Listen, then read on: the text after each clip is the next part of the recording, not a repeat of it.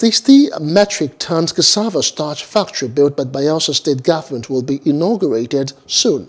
Governor Douye Diri said this during an inspection tour of the factory located at Ebedebiri in Sagbama local government area of the state.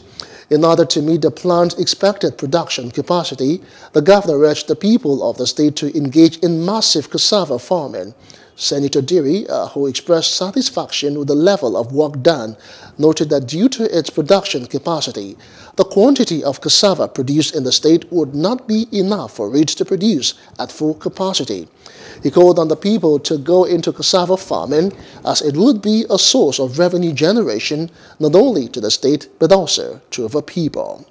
Hello. Hope you enjoyed the news. Please do subscribe to our YouTube channel and don't forget to hit the notification button so you get notified about fresh news updates.